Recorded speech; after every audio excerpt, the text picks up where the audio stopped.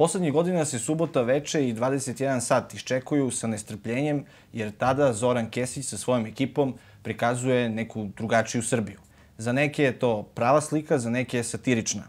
Niš nije redka tema u njegovoj emisiji 24 minuta, a šta misli o poslednjim dešavanjima u ovom gradu i društveno-političkoj situaciji uopšte, razgovaram upravo sa Zoranom Kesićem. Zorane, dobrodošao ne u studiju Južnih vesti, već u garderobu Doma vojske. Pa bolje vas našao, ja se izvinjam što nisam stigao da dođem u studiju Južnih vesti. Bio sam već jednom pre nekoliko godina, ali ovo je sada malo cajtnot pred našu priredbu, tako da hvala vama što ste došli ovde. Pomenuo si priredbu, počet ćemo tom temom, ovaj, ti si priredio kako, kako je to bilo u najavama humorističku priredbu, tako? Tako je. Pesme i priče. I šta može niška publika da očekuje uh, od tebe ovaj, uh, u, u toj priredbi, s obzirom da, da sam pročitao da svaku posebno pripremaš i, i, i navaljaš poseban materijal vezan za taj grad. Pa jeste, zato što meni bi bilo i dosadno da uvek e, iste stvari pričam i pevam. Jer ja nisam glumac pa da, da izvodim predstavu hiljadu puta, nisam ni stand-up komičar da imam svoju stand-up rutinu koju ponavljam. E, moj nastup počinje i dolazi i završava se iz novinarstva.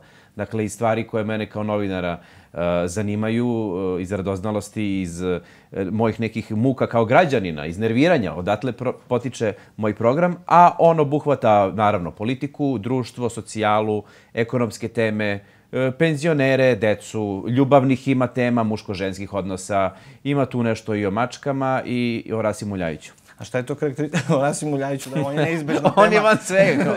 Ima politike i Rasima Ljajića. Tako je. A šta je posebno ovako vezano za Niš?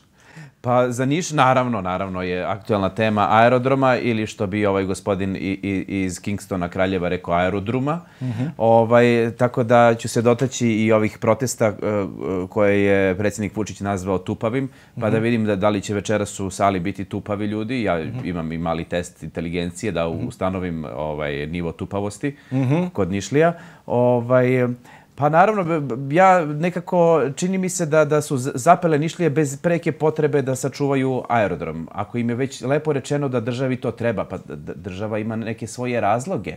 Mm -hmm. Ili kako bi se na francuskom reklo, država ima neke svoje razloge za aerodrom. Mm -hmm. Zašto baš na francuskom bez posebnog... Ne, ne moramo da objašnjavamo. Koncesija! Razloga. Tako da, naravno, bavit ćemo se aktualnostima i u Nišu. Jasno. Ovaj, a šta, bismo, šta bi Beograd mogao da pokloni nama, pošto mi njima, jest mi državi i Beogradu poklanjamo aerodrom? A e, šta bi e, nezahvalni kolega iz Niša država još mogla da vam pokloni što vam nije poklonila? Pa, jel ste vi imali sve oronule fasade ovde u Nišu? Jel, koliko ste, koliko ste uzimali novca preterano za budžet, pa mora predsjednik da dođe se izviče na gospodina Bulatovića da bi se to sredilo? Dakle, sve smo vam dali. Sve smo vam dali a vi sam uzimate i tražite još, još, još, još, još. Dakle, rečeno vam je da ste nezahvalni i da je država razočarana i ako hoćete aerodrom, eto vam ga aerodrom, ali nemojte posle nama da tražite pare. Misli se vaše pare koje uplaćate naravno, naravno. u budžet. Tako da, ovaj, uh, Beograđani, uh, ja kao predstavnik uh, tog sloja, vole Nišlije, posebno ovaj Beograđanin, jer ja možda nemam tetku u Kanadi. Ja imam mhm. tetku ovde, u Nišu a to više, više vredi. Više vredi i ja, ja nemam stan svoj, podstanar sam, ali nisam u fazonu da ko volim, molim moju tetka Mariju da mi da pare za stan. A, da li je državi neophodan niški aerodrom zato što je malo si pričao na francuskom? Zato, što, zato što je rešila da, da Beogradski da francuzima? Pa to sad su neke vaše insinuacije, to, ali je zanimljivo sad bez šale da, da ne, mo, ne može da se nađe konsenzus čak ni u vladi oko odgovora. E, zbog čega se upravo sada e, traži e, poklanjanje Niškog aerodroma. Dakle, zar nije gospodin Bulatović do skora govorio da se odlično vode financije, da evo aerodrom raste, da donosi pare, a odjednom sad je mi nemamo pare da, da održavamo taj aerodrom. Uh -huh. U čemu je uh, nesrazmera u tim izjavama? Da li to ima veze sa koncesijom Beogradskog aerodroma? Zorana Mihajlović jednom trenutku kaže da nema. Vučić u drugom trenutku insinuira da ima. Dakle, uh, možda to i nije loše za Niš, ne znam. Možda nije loše, znaš, sada ozbiljan sam. Uh -huh. Ali hajde da se kaže zbog čega se to dešava upravo sada. Šta Nišlije dobijaju time, šta Nišlije gube time. Da li Nišlije gubljenjem aerodroma gube pravo da utiču na eventualno, recimo, ako poskupe karte pa mogu da se bune da protiv ovih čelnika Niša koji sada rukovode, kako će da se bune protiv e, republičke vlade. Tako da sve je obavijeno velom tajne, ali na to smo već navikli magla. Nikako, nikako da dobijemo konkretan odgovor. Nikako. Na, na brojna pitanja. Na mnoga, da. Ovaj, govorio si malo o tupavim nišlijama, ti ćeš večeras da utvrđuješ da li ima takvih. Ovaj, a ve, više puta si bio u Nišu, o, evo i sad si verovatno prošao ovaj, gradom dok si došao do Doma vojske, si vidio neke tupave ljude? nisam, nisam video tupave ljude, zaista, ovaj, e, naravno da Nišlije nisu tupave i lepo je videti da u ovom učmalom društvu, e, letargičnom, e, postoji e, neka energija da se ljudi podignu kada osete nepravdu. Naša emisija se bavi nepravdom. Naša emisija tretira nepravdu, glupost, laž, patetiku, melodramu, foliranje i tako dalje. Navikli smo da u ovom društvu nepravda prođe nekažnjeno, da navikli smo se na laž, navikli smo se na nepravdu, Prosto čekamo i mi da nadležni odrade svoj deo posla, znajući da nadležni neće odraditi svoj deo posla, dok im se ne kaže da odrade svoj deo posla, a neće im se reći. Tako da je za promenu lepo da vidimo proteste u Nišu, pa makar i ne urodili plodom. Hmm, to ćemo vidjeti, ovaj, vreme će pokazati da, da li će uroditi ili ne. Vreme, ni nedeljnik, nešto će pa pokazati. Pa nešto, nešto da. od njih, da. Ovaj, uh, da nisi slučajno sreo, možda, pošto tupave ljude nisi, možda si sreo malo Giliju, ovaj, pošto ga je prošli put u posljednjem svom dolasku predsednik Vučić sreo.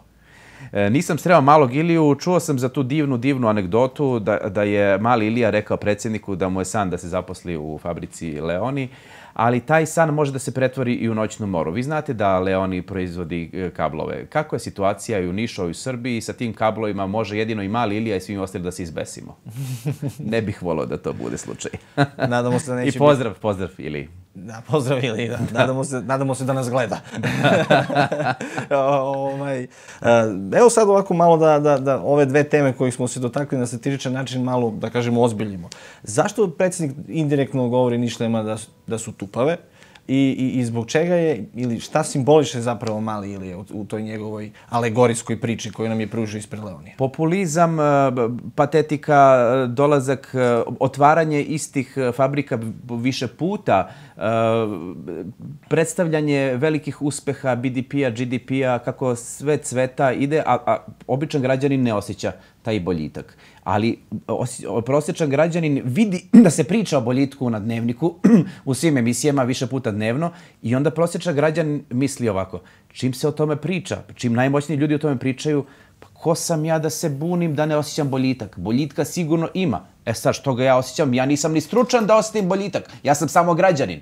Dakle, to se sistematski radi. Mali Ilija je samo jedan šrafić, mali u celo toj priči, predizborne kampanje koja konstantno traje i nikada ne prestaje. Mm, tako je. A, možda je bolje onda da građani manje gledaju u TV, a više u svoj frižider. to bi bilo dobro, da. Mada u frižideru je uvek nekako u Srbiji e, program malo dosadan, znaš, nema baš mnogo toga na programu u frižideru, a ima ga sve manje i manje. Nekako kao da je ukočena slika. ukočena je slika. Kao u Alanu Fordu, znaš, ono, kada, kada dobiju konačno neka jako siromašna porodica frižider, otvaraju i kaže majka sinu, evo, ovo je pretinac za, za brašno i jaja. A sin kaže, što je to brašno, što je to jaja? I onda dođe super hik i taj frižider im odnese i da bogatunima. Tako da ovaj, naša država je u fazonu super hika, čini mi se. Da. A, kad pričamo već o propagandi, čini se da a, male Ilije iz Beograda zarađuju nešto, nešto više od malih Ilija iz Niša. E, e, e, e, ajmo. Ne znam, ne znam kakav je tvoj utisak. Šta je sad opet nešto na, na vodenicu centralizacije i decentralizacije? Pa šta smo mi krivi u Beogradu što se kod nas sve sliva? Pa jesam ja kriv? Ja sad treba da me grize savest. Pa dođi, ko, vam, ko vas je terao da ostanete u Nišu? Dođite u Beograd. Sunce niškog neba ne, neće vas grijat. Ko... To što Beogradsko greje. Jest, i smog. A mnogi nišli se odlučuju da odu tim putem. Ima. U poslednje vreme. Sve ih je više. Ima ih, ima ih više, ima sve više nišlija u Beogradu i ja, ja baš gledam nikako, brate, se vrate u Niš. Nikako. Nikako. Nikako. Pa ovaj, ne znam šta da kažem, na, naravno da, da uh, primećujem po lokalu uh, tešku situaciju i kuknjavu primećujem ali ovaj, šta je znam, nisam ja zadužen za to. Ja se obraćam svim ljudima naše zemlje, svim dobrim ljubidinama, i Nišlijama, i Leskovčanima, i Piroćancima, i svima. Tako da, eh, adresu na pitanje zašto lokal propada treba uputiti nekom drugom.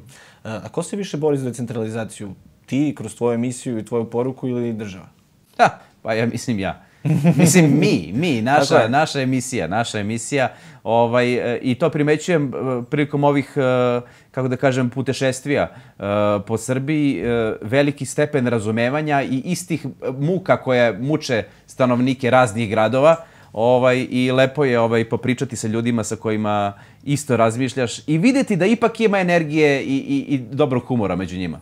A, a zašto država, čini se, više radi na centralizaciji nego na decentralizaciji? Šta je, šta je tu boljitak za državu ili pa, boljitak za nas građane? Pa, verovatno, država pre svega radi na centralizaciji svojih dupeta u fotelje. Dakle, to je prvo najvažnije da se obezbedi. To da se obezbedi, jer oni, ja sam primetio, e, kada recimo ustane on, neki NN političar i fotelja ustaje sa njim.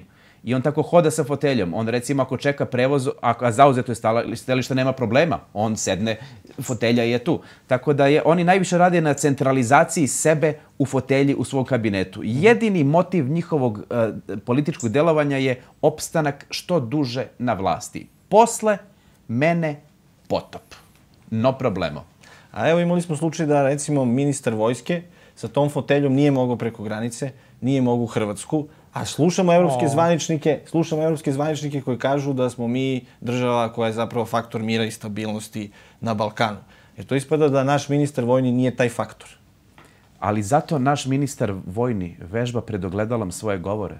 Možda on ne može u Hrvatsku, ali to ga inspiriše da kada uđe tiho u sobu, ne budeći dete, pa tiho skine uniformu, da ne vidi kako plače, pa onda do krešenda ga podigne, pa ga spusti. Dakle, takav jedan ministar vojske, odgovorno mesto, ministar odbrane, nekadašnji marksista levičar, pa hop, preobučeni pravoslavac, krsti se non stop i tako dalje, sutra će biti šta god, desničar, uh, gej će postati ako treba. Dakle, on je kao neki lik iz slikovnice. On je ministar vojske. Pa šta ako ga nisu pustili u Hrvatsku? Ja ga ne bi u kuću pustio. I sada od toga praviti međunacionalni sukob. Od toga, od sukoba jednog Vulina i države Hrvatske, pa se onda Dačić uključuje, pa onda ne, međunacionalni sukob na nivou Plenković-Dačić, e, Klovnova s ove i s one strane predstavljati kao sukob naroda, građana, Stipeta odande i Zorana odavde, je najveće zlo, laž i gnusna podmetačina medija i vlasti. Ne postoji međunacionalni sukob. Postoji politički sukob jednih klovnova i drugih klovnova. Znači, zveckanje oružjem je zapravo politička, cilj je politika, tako? U političke svrhe. Apsolutno, unutrašnje političke svrhe, bez ikakvog dogovora. Ne moraju da se dogovaraju. Krenemo zveckanje, nakon zveckanja ide ovaj e, tabloidi s obe strane ratovi, krv e, lepo grafički obrađena curka sa tabloida, rat, kad curi krv sa, sa tabloida, to će da se kupe novine, to je dobro. Nakon toga ide smirivanje tenzija. Dakle, pokazali smo da smo faktor mira i stabilnosti na Balkanu, mudra politika. Dakle, i jedni i drugi kupe političke poene. Win-win situacije. Koliko je teško danas baviti se kritikom vlasti na satiričan način, kao što ti radiš u svojim emisijama? Ništa lakše. I svaka budala bi mogla da radi ovaj posao, zato što svaka budala i živi u Srbiji i žrtva je ovakve politike, ovakve, ovakve sulude, uh, kako da kažem, absurdne stvarnosti u kojoj živimo, tako da je samo potrebno pogledati vesti, napisati ih na tabli i odabrati šta nam je najlepše za našu finu obradu. Tema ima, znači? Viška. viška. Od viška glava ne boli nas satiričare, od viška glava boli nas građane.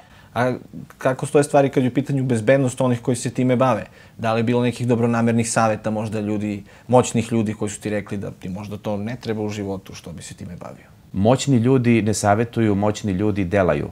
Za sada ne, ne rade ništa da bi sprečili našu kreativnost. Moćan čovek, ako bi pokazao da ga pogađa naša satirična kritika, otkrio bi se kao osetljiva tanana dušica, što on ne može i ne želi. On želi da ostavi utisak nedodirljivog, snažnoga Tutankamona. Zamisli da njega pogađa jedna humoristička emisija.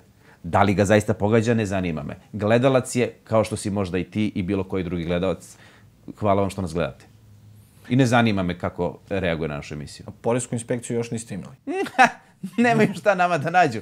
Ali zato vama imaju, dragi kolega. I kritika poreskim inspektorima koji su godinama u južnim vestima, koji pritiskaju, koji zovu vaše porodice, koji zovu vaše oglašivače, koji plaše, koji kao psi njuškaju i ništa nisu našli.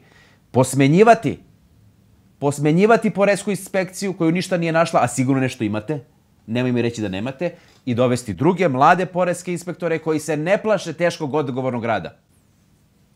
To je rešenje. I konačno da čujemo neke tužne vesti od južnih vesti. Da vas ne gledamo više. Mnogima su naše vesti tužne. verujem, verujem. I što više takvih vesti? E, Kada se približi ovaj kraj sezone 24 minuta, pošto vi pravite te letnje pauze, ovaj, uvek strepimo da li će se vaš show nastaviti. Ah. Kakva je situacija sada po tom pitanju? Uvek ista priča. Od prve epizode reakcija univerzalna bila je odlični ste, ali ste normalni, ukinuće vas. Taj tag je konstantno nad našom glavom, ali mi smo prestali da ga gledamo, ne primećujemo ga. Zamislite da ti pišeš scenario i sve vreme gledaš, da, da, pa se od tog scenarija nema ništa. Tako da tag je tu, ako će da pada, nek padne, mi pišemo i radimo odgovorno svoj posao. Ugovor imamo do kraja godine, pauza jul-avgust, nastavljamo od septembra, pa do nove godine, a posle vidjet ćemo. Vidjet ćemo. Hvala ti na gostovanju. Živeli. Gledali ste emisiju 15 minuta, moje ime je Aleksandar Stankov.